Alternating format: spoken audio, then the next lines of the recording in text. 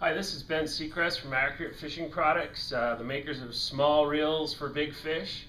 And today I want to take a moment and uh, talk to you guys about um, some fishing techniques that we used this last weekend for threshers off of Thresher Sharks off of Southern California.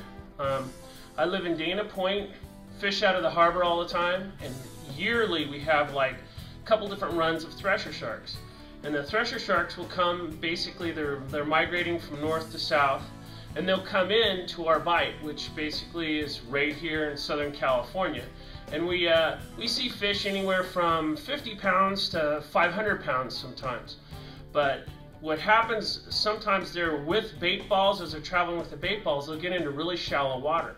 They get into water that's 70 to 100 feet deep, and what's fun about that is you can take basically anything you want out there to try to get them. You know, guys go out there on uh, stand-up paddle boards and try to catch them. Well, I'm not that brave, but this last weekend I went out and took a 16-foot Klamath boat, which is my little skiff that I have, and uh, basically called one of my buddies.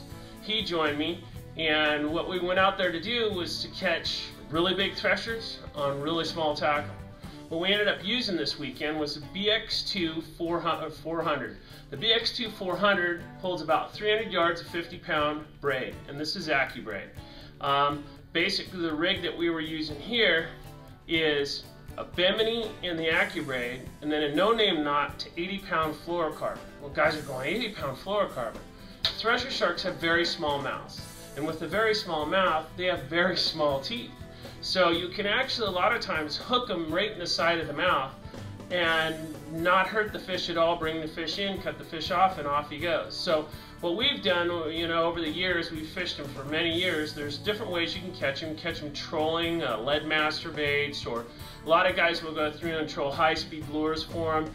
The problem with the high-speed lures a lot of times is the, the fish themselves, when they come up to the lure, they're trying to whack it with their tail as they whack it with their tail, you'll snag them in the tail and you end up killing the fish because they drown. You're fighting them backwards all the time. So what we use a lot of times here is I'm into using small hooks and sinker rigs, you know, and I'll use live mackerel, live sardines, you know, and with a couple sinkers on it. So um, the other thing that was really important about this weekend is the fish that we were finding. We had a fish probably maybe 90 pounds, had another one that was a buck and a quarter, but we caught a fish that was like 200 pounds. When the big, when you're fighting bigger fish, a lot of times you're going to do it for some length of time. It's nice to have small tackle that can actually put up with the abuse. Little BX2 400 will put out 30 pounds of drag, but it has a high and low gear. And what's cool about the high and low gear is the low gear 3 to 1 as you're pulling on a fish and you get to a spot in six to one and you can't go through and do any pull any more on the fish, all you do is you can pop it into low and you can actually take some turns on the handle. The one thing I was going to talk to you guys today about that's real effective with catching big fish, not only threshers but any fish, is this is our 70-30 Extreme rod. It's a graphite um, glass composite, but it's it's parabolic. We we've design the rods so that they actually take the pressure off of you and put them on the fish. But I see a lot of guys try to pump on these fish and they're using big tackle and the tackle's basically tiring them out. What we do with this thing is the rod's loaded. As the rod comes up, we take a couple more turns and low. If the fish decides to run at us, we put in the high, we can gain line and get him back into where he's sitting. Threshers will get their heads down. As they get their heads down, they keep their heads down you have to move them slowly. Anytime you're jerking back and forth with the rod, it's like slapping someone. So the response you're going to get is a real erratic response you're going to do. With a tuna or a thresher or any of those type of fish, all you have to do is use the rod and the reel effectively. And one way to do that is just to slowly gain line as the rod comes up. No big jerking motions. Work from like 10 to 12 if you're going to do any sort of pulling at all, but anything goes higher than like 12, people tend to go up here, the rod gets straight, the fish's head goes down, and goes back down.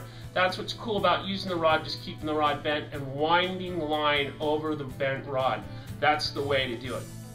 But what I'm going to show you today is some of the uh, rigs that we use for catching the threshers.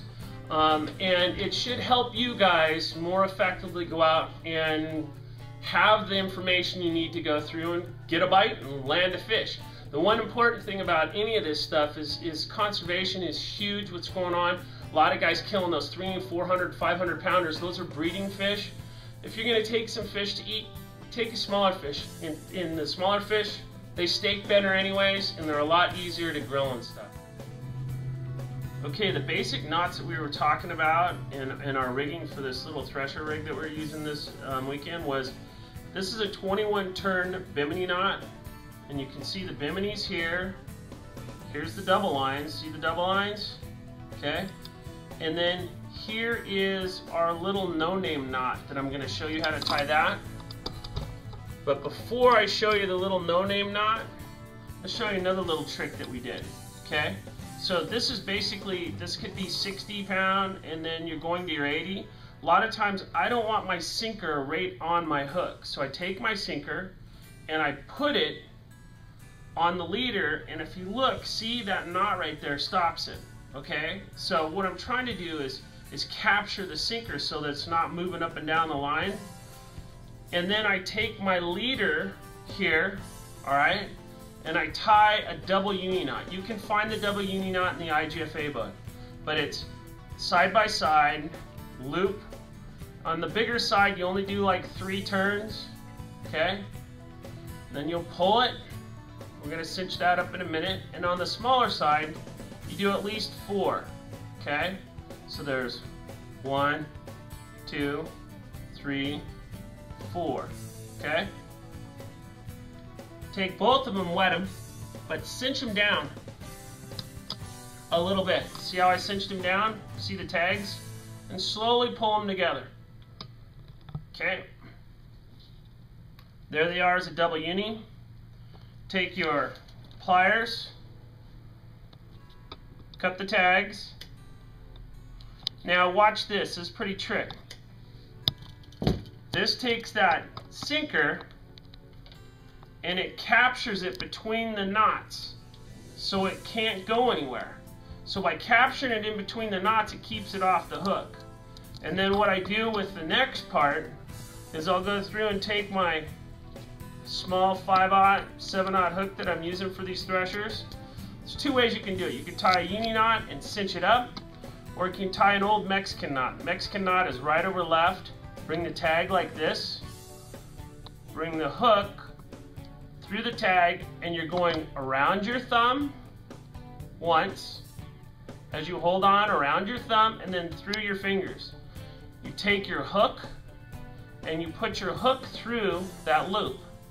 You grab your running line or your main line, start pulling down on that and what you're doing is you're actually able to control the size of the loop that you make. You don't want too big a loop.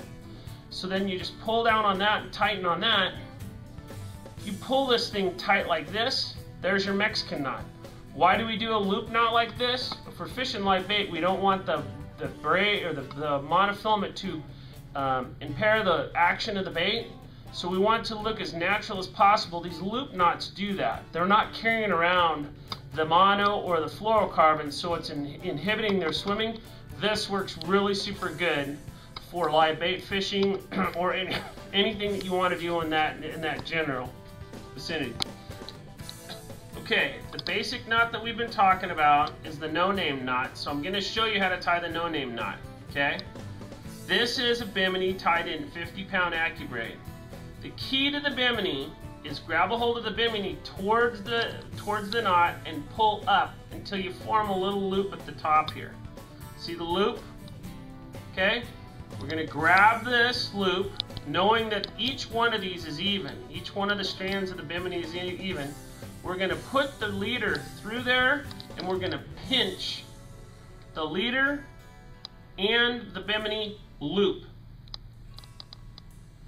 And now we're going to do six wraps. One, two, three, four, five, six. Take that and pop it back through the loop. All right? See, I cinch down on it a little bit like that, then I wet it. Once it's wet, all we're doing now is pulling it tight. And if you pull it tight, there's your no-name knot. The key to the no-name knot is to cinch the no-name knot down so it stops. There it stopped. It's on it's bit on itself. So all you're doing now is taking that tag end right here cutting that off. And there is your no-name knot. It's better to do more wraps with lighter lines. Say you're 30, 40, 50, you want to do eight wraps at least, maybe 10. On your 60, 80, 100, you can get away with six. But this knot is very compact. It goes through the guides well. It's super strong. And it's the knot that I use a lot for all different types of fishing. But that's the no-name knot. We appreciate you watching our videos, and we hope you catch fish here. Thanks a lot.